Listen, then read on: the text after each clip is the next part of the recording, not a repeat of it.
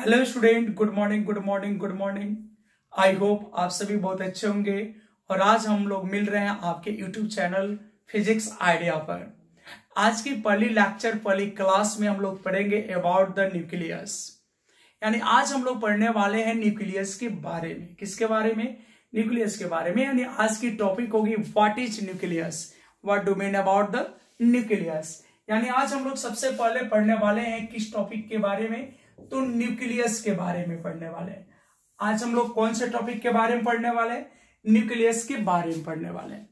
तो सबसे पहले कि आपको पता होगा कि न्यूक्लियस क्या है तो न्यूक्लियस जो है किसी एटम का एक सेंट्रल पार्ट होता है किसी एटम के क्या होता है एक सेंट्रल पार्ट होता है जहां पे एटम की ऑलमोस्ट टोटल मास और उसकी टोटल पॉजिटिव चार्ज परसेंट होता है न्यूक्लियस किसी एटम का वह सेंट्रल पार्ट है जहां एटम की positive charge total positive charge और ऑलमोस्ट टोटल मास परसेंट होता है जैसे सपोज डैट ये आपका एक न्यूक्लियस है ये आपका क्या है एक सॉरी एक एटम है और इस एटम का एक सेंट्रल पार्ट ले लेते हैं आप ये इस एटम का सेंट्रल पार्ट है और यहां पे क्या होगा कि सेंट्रल पार्ट में सिर्फ प्रजेंट होते हैं प्रोटॉन एंड न्यूट्रॉन कौन कौन प्रजेंट होते हैं प्रोटॉन एंड न्यूट्रॉन यहां पर आते हैं प्रोटॉन एंड न्यूट्रॉन जैसा कि आप जान सकते हैं कि एटम के तीन फंडामेंटल पार्टिकल होते हैं एटम कोई भी एटम जो होता है तीन तरह का फंडामेंटल पार्टिकल से बना होता है और वो तीन फंडामेंटल पार्टिकल है पहला है प्रोटॉन दूसरा है न्यूट्रॉन और तीसरा है इलेक्ट्रॉन तीन फंडामेंटल पार्टिकल पहला proton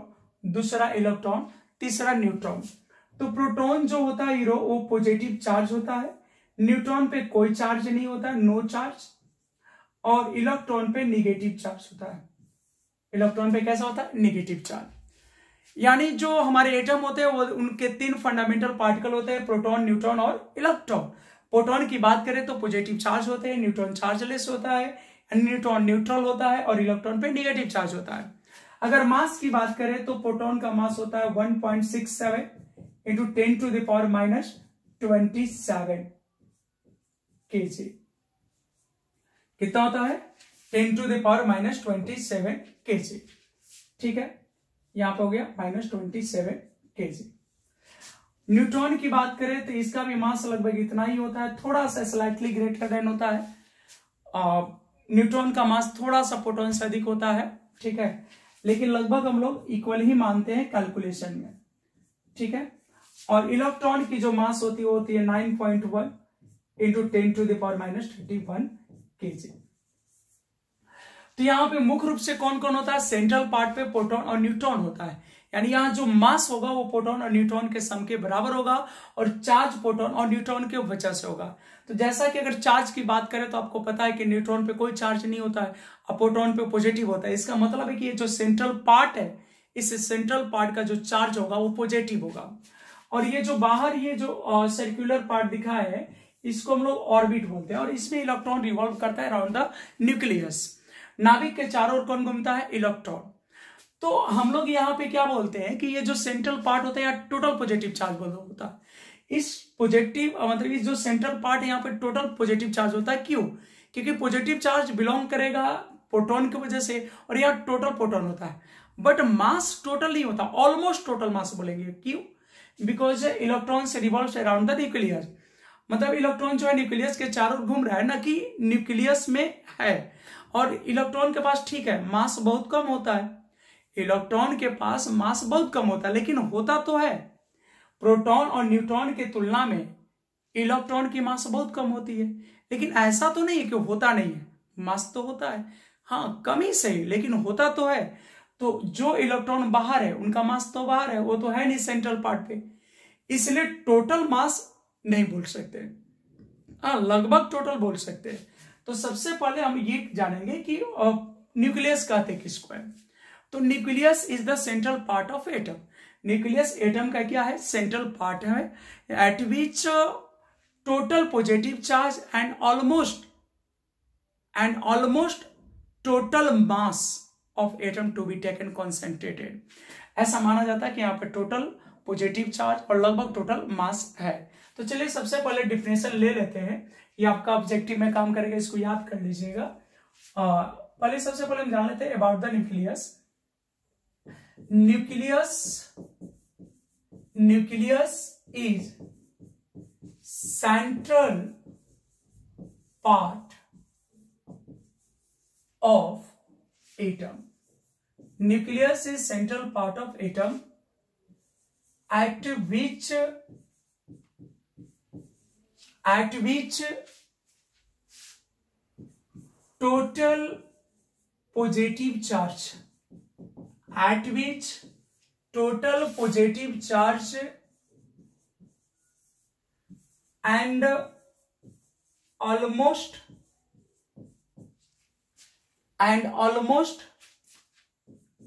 total mass of atom to be present भी लिख सकते हैं कॉन्सेंट्रेटेड भी लिख सकते हैं लोकेटेड भी लिख सकते हैं टू बी परसेंट तो सबसे पहले हम ये जानेंगे कि what is nucleus what is nucleus तो nucleus is central part of an atom central part of an atom an atom at which total positive charge and almost total mass of atom to be percent मतलब atom के वह central part जहां पे atom का total mass almost total mass और total positive charge क्या होता है कॉन्सेंट्रेट होता है तो उसी को हम लोग क्या कहते हैं न्यूक्लियस कहते हैं न्यूक्लियस जो होता है वह स्पेरिकल होता है न्यूक्लियस इज एस्पेरिकल न्यूक्लियस जो होता है एस्पेरिकल होता है और एटम भी स्पेरिकल होता है nucleus is spherical as well as atom is also spherical तो देखिए यहां पे न्यूक्लियस भी आपका स्पेरिकल होता है और साथ में एटम भी आपका स्पेरिकल ही होता है ठीक है the radius order the radius order of nucleus is 10 to the power minus 15 metre जो रेडियस ऑर्डर होता है न्यूक्लियस का वो कितना होता है तो 10 टू दावर माइनस 15 मीटर होता है कोई प्रॉब्लम है यहां तक यहां तक प्रॉब्लम नहीं होनी चाहिए आपको पता है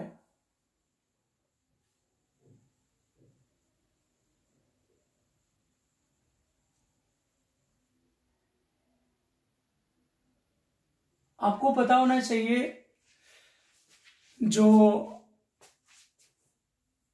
एटम होता है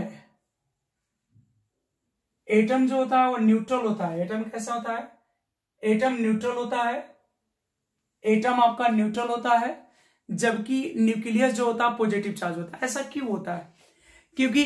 एटम जो होता है उसमें प्रोटॉन भी होते हैं और इलेक्ट्रॉन भी होते हैं एटम में आपके प्रोटॉन भी होते हैं और इलेक्ट्रॉन भी होते हैं जैसे यहाँ है तो यहाँ प्रोटोन और न्यूट्रॉन है और इलेक्ट्रॉन भी यहाँ ऑर्बिट में है तो है तो ये टोटल एटम के अंदर ही तो यहाँ जितना पॉजिटिव चार्ज प्रोटोन की वजह से होते उतना ही निगेटिव चार्ज इलेक्ट्रॉन की वजह से total positive total negative equal तो रिजल्ट क्या होगा जीरो तो इसलिए एटम जो होता है न्यूट्रल होता है बट बात करें अगर न्यूक्लियस का तो न्यूक्लियस पे प्रोटोन और न्यूट्रॉन होता है और प्रोटोन पॉजिटिव चार्ज होता है न्यूट्रॉन पे कोई चार्ज नहीं होता है इसलिए आपका न्यूक्लियस क्या होता है पॉजिटिव चार्ज हो जाता है ठीक है तो यहां पर हम लोग नोट कर लेंगे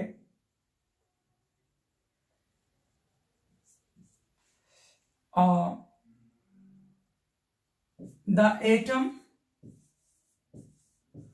the atom is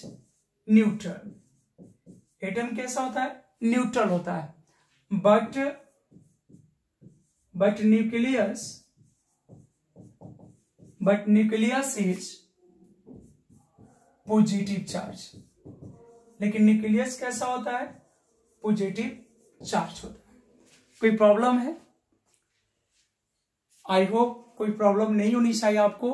और यहां तक क्लियर हो गया और देख सकते हैं ये स्क्रीनशॉट अगर लेना चाहते हैं तो आप ले सकते हैं अगला topic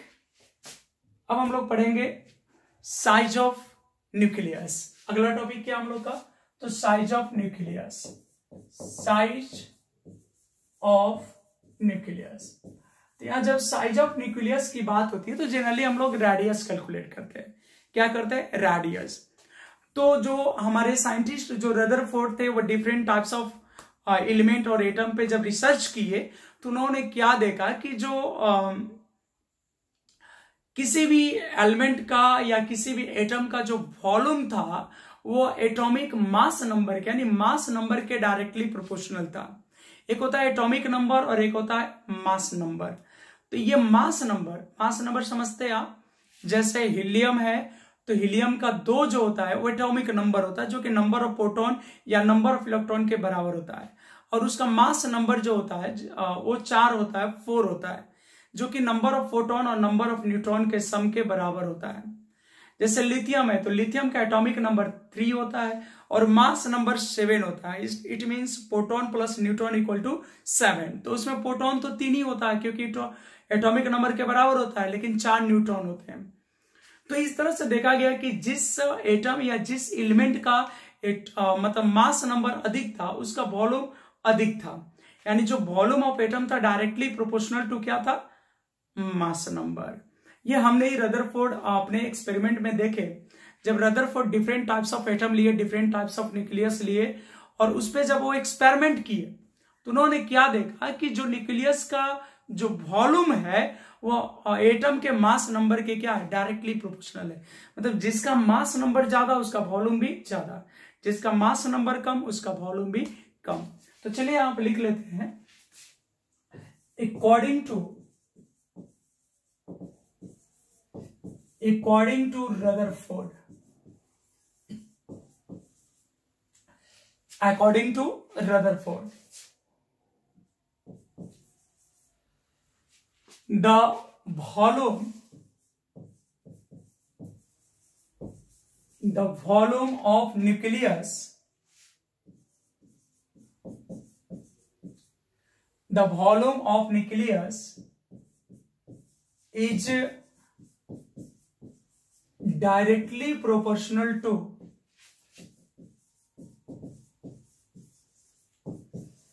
directly proportional to mass number और मास नंबर को पता है हीरो क्या लिखते हैं कैपिटल एम जबकि एटॉमिक नंबर को हम लोग जेड लिखते हैं और मास नंबर को क्या लिखते हैं कैपिटल एम ठीक है सॉरी कैपिटल ए लिखते हैं क्या लिखते हैं कैपिटल ए लिखते हैं कैपिटल ए लिखते हैं ठीक है that is that is volume directly proportional to mass number you know nucleus is spherical nucleus is spherical nucleus कैसा होता है एस्पेरिकल होता है न्यूक्लियस कैसा होता है एस्पेरिकल होता है और ये इसकी मान लीजिए ऐसे रेडियस ऐसे रेडियस तो जब स्पेयर होता है तो इसकी वॉल्यूम क्या होनी चाहिए pi r square pi r square H या four by three pi r cube cube no doubt सबको पता होगा कि जो स्पेयर होता है उसका वॉल्यूम जो होता है four by three pi R cube होता है फोर बाई थ्री क्या होता है पाई आर क्यू और डायरेक्टली प्रोपोर्शनल टू हो जाएगा ये अगर हम इसको लिखना चाहें तो ऐसे लिख सकते हैं R cube directly proportional to A क्योंकि अगर किसी भी कॉन्स्टेंट से उधर डिवाइड करेगा आरचेस ये जो टर्म है तो कोई रिलेशन में फर्क नहीं पड़ेगा हाँ अगर वेरिएबल को इधर उधर करेंगे तो फर्क पड़ेगा रिलेशन पे बट कॉन्स्टेंट को करने से कोई फर्क नहीं पड़ता है तो थोड़ा सा इसको ऊपर कर लेते हैं फिर देखिए आप यहाँ पे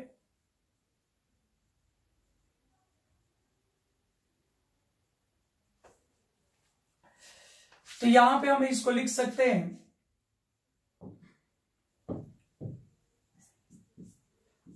अगर ये इसी को लिखे तो आर डायरेक्टली प्रोपोर्शनल हो जाएगा ये बाई थ्री और जब इस प्रोपोर्शनल साइन को हटाएंगे तो बदले में तो कोई कांस्टेंट आएगा तो यहां कांस्टेंट आ जाता R equal to R naught यहां पर कॉन्स्टेंट क्या गया आर नॉट और A to the power one by three ठीक है दिख रहा आपको थोड़ा सा और छोटा कर ले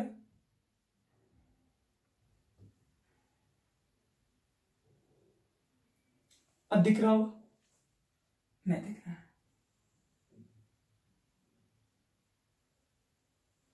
दिख रहा है चलिए तो क्या आ गया आर इक्वल टू क्या आ गया इसको थोड़ा सा हाईलाइट कर लेते हैं हम लोग इस पॉइंट को तो आर इक्वल टू आ गया आर इक्वल टू क्या आ गया तो आर इक्वल टू आ गया R naught A to the power A by three R equal to क्या आ गया अब प्रश्न है कि आर नॉट क्या है यहां पे आर नॉट क्या है तो here R naught is proportional constant ये कुछ नहीं है एक तरह का प्रोपर्शनल कॉन्स्टेंट है यहां आर नॉट क्या है हीरो तो यहां आर नॉट जो है प्रोपर्शनल कॉन्स्टेंट है आर नॉट एक प्रोपर्शनल कॉन्स्टेंट है and it's experimental value and it's value is 1.2 two into ten to the minus fifteen metre और ये जो आर नॉट है इसकी वैल्यू कितनी होती है तो 1.2 point two into ten to the minus fifteen metre और इसी को हम लोग कहते हैं 1.2 पॉइंट टू फर्मी इसी को हम लोग क्या कहते हैं 1.2 पॉइंट टू फर्मी इसी को हम लोग फर्मी भी बोल लेते हैं ठीक है उम्मीद कर रहे हैं कि यहां तक समझ में आपको आया हो तो जनरली साइज ऑफ न्यूक्लियस में हम लोग क्या निकालते हैं तो रेडियस ऑफ न्यूक्लियस तो जब भी साइज का कैलकुलेशन करेगा तो हम लोग क्या निकाल देते हैं तो न्यूक्लियस की रेडियस निकाल देते हैं ठीक है क्लियर है यहां तक शॉट कर सकते हैं अब अगला देख लेते हैं डेंसिटी क्या देख लेते हैं तो हम लोग का अगला टॉपिक होगा डेंसिटी ऑफ न्यूक्लियस तो जब बात हो डेंसिटी का डेंसिटी ऑफ न्यूक्लियस तो डेंसिटी तो सबके दिमाग में होगा डेंसिटी क्या है तो एक रेशियो है मास और वॉल्यूम का यानी डेंसिटी जो है वॉल्यूम के रिस्पेक्ट में मास का रेशियो है किसका वॉल्यूम के रिस्पेक्ट में मास का तो यानी आप पहले से भी जानते हैं कि the ratio of mass and volume is called density और यहां पे क्या पढ़ना हमको तो न्यूक्लियस का तो एक वर्ड जोड़ लेना है न्यूक्लियस तो लिखेंगे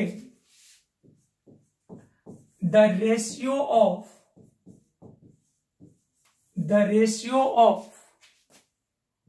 mass and a capital M and volume bracket में लिख लेंगे भी of nucleus of nucleus is called density of nucleus is called density nucleus आपको पता है डेंसिटी को कौन से लेटर से रिप्रेजेंट करते हैं रो से कौन से अक्षर होते हैं हीरो रो नो नहीं rho it is denoted by it is denoted by rho इसको किस लेटर से रिप्रेजेंट करते हैं रो से किस लेटर से रिप्रेजेंट करते हैं रो से सो रो इक्वल टू हो जाएगा मास बाई वॉल्यूम आपको पता है कि जो न्यूक्लियस होती है वो तो स्पेरिकल होता है न्यूक्लियस कैसा होता है स्पेरिकल तो मास तो एम ही हो गया लेकिन वॉल्यूम हो जाएगा four by three pi R cube ठीक है अब इसको ऊपर भेज लीजिए तो रो इक्वल टू हो जाएगा three M upon four pi R cube समझ में आ रहा है यहां तक क्लियर है अब चलो इसको थोड़ा सा हाईलाइट कर लेते हैं हम लोग दिख रहा है तो रो इक्वल टू कितना आ गया three M by four pi R cube अगर इसकी यूनिट की बात करें तो मास का हो जाएगा के सी और वॉल्यूम का हो जाएगा मीटर क्यू तो यहां से हम लोग लिख सकते हैं the SI unit of density of nucleus is तो क्या हो जाएगा इसका डेंसिटी डेंसिटी का के KG per metre cube KG per क्या हो जाएगा मीटर क्यूब उम्मीद कर रहे हैं हाँ, यहां तक तो तो यहां तक तो कोई प्रॉब्लम नहीं होनी चाहिए आपको जहां तक हमें यकीन है और सिंपल है यहां तक कुछ खास नहीं है रॉकेट साइंस नहीं है है ना अब यहां से अगर बात करें कि इसका एक नंबर में पूछ देता है कि जनरली किसी भी एटम के लिए ये एवरेज वैल्यू है न्यूक्लियस का जो डेंसिटी होता है वो होता है two point three into ten to the power seventeen तो यहां पर हम नोट कर लेते हैं the value of nucleus density the value of nucleus density is two point three into 10 to the power के जी पर मीटर क्यूब तो जो किसी भी आ, किसी भी एटम के लिए वैलिड है ठीक है तो आप उम्मीद करते हैं यहां तक आपका क्लियर होगा density of nucleus the ratio of mass and volume of nucleus is called density of nucleus तो अगर एक बार हम बात करें यहाँ पे प्रीवियस जाने का तो प्रीवियस में सबसे पहले हम लोग पढ़े न्यूक्लियस तो सबसे पहले यह था कि व्हाट इज न्यूक्लियस तो nucleus is the central part of atom an atom nucleus is central part of an atom at which total positive charge and almost total mass of atom to be percent मतलब जो nucleus है वो atom का एक central part है जहां पे atom का टोटल पॉजिटिव चार्ज और ऑलमोस्ट जो टोटल उसकी मास है वो परसेंट होती है A nucleus is an central part of an atom at which total positive charge and almost total mass of atom to be percent. जो nucleus होता है nucleus is spherical nucleus spherical होता है as well as atom is also spherical और जो atom होता है वो भी स्पेरिकल होता है the radius order of nucleus is ten to the power minus fifteen metre कितना होता है ten to the power minus fifteen metre the atom is neutral neutral but nucleus is positive charge atom जो होता है neutral होता है आ, हाँ, लेकिन जो न्यूक्लियस होता है वो पॉजिटिव चार्ज होता है ठीक है अब यहां पर हम थोड़ा सा देख लेते हैं सेकेंड नंबर तो सेकेंड नंबर में हम लोग ये पढ़े साइज ऑफ न्यूक्लियस सेकेंड में क्या पढ़े साइज ऑफ न्यूक्लियस तो आपको तो पता है कि न्यूक्लियस के बारे में कौन बताए थे तो न्यूक्लियस के बारे में बताए थे रदरफोर्ड जब Rutherford different types of atom different types of nucleus पे जब रिसर्च किए तो उन्होंने देखा कि जो एटम और न्यूक्लियस का जो वॉल्यूम था न्यूक्लियस का जो वॉल्यूम था वह मास नंबर के डायरेक्टली प्रोपोर्शनल था जैसे जिस एलिमेंट का मास नंबर ज्यादा उसका वॉल्यूम भी ज्यादा था जैसे आप नहीं समझ पा रहे तो ऐसे समझिए लिथियम और सोडियम में मास नंबर किसका ज्यादा होता है तो इनफैक्ट आप बोलोगे सोडियम का तो सोडियम का वॉल्यूम भी ज्यादा होता है अगर हम आपसे कहें कि कार्बन और सल्फर में आ, मास नंबर किसका ज्यादा होता है तो आप स्वाभाविक तौर पे बोलोगे सल्फर का तो सल्फर का वॉल्यूम भी कार्बन से ज्यादा होता है ठीक है तो according to Rutherford the volume of nucleus is directly proportional to mass number यानी volume directly proportional to mass number four by three pi R cube directly proportional to A और इस कॉन्स्टेंट को इधर लाए तो रिलेशन में कोई changing नहीं होगा तो R cube directly proportional to A R directly proportional to A to the power और A to the power one by three क्योंकि क्यूब रूट हो जाएगा इधर और अगर ये स्क्वायर रहता तो यहाँ वन बाई टू लिखते तो आर इक्वल टू इसको हटा दिया आर नॉट ए के पावर वन बाई थ्री आ गया जहां आर नॉट एक प्रोपोर्शनल कॉन्स्टेंट है और इसकी वैल्यू जो होती है वन पॉइंट टू फर्मी होती है ठीक है अब इसमें अगर बात करें तो थर्ड नंबर पे हम लोग पढ़े हैं डेंसिटी ऑफ न्यूक्लियस क्या पढ़े डेंसिटी तो the ratio of mass and volume of nucleus is called density is called density of nucleus और density को रो से डिनोट करते हैं और ये मास बाई वॉल्यूम हो गया फिर ये फॉर्मूला हो गया डेंसिटी का यूनिट जो होता है केजी पर मीटर क्यू होता है और इसका जो न्यूमेरिकल वैल्यू होता है वो किसी भी एटम के लिए होता है two point three into ten to power seventeen K G per metre cube तो वीडियो um, का फीडबैक जरूर दीजिएगा क्योंकि ये फिजिक्स आइडिया यूट्यूब चैनल का पहला वीडियो है और अगर अच्छा लगे तो थोड़ा सा सपोर्ट करिएगा शेयर करिएगा और सब्सक्राइब कर लीजिएगा धन्यवाद आप सभी का मिलते हैं नेक्स्ट क्लास नेक्स्ट वीडियो में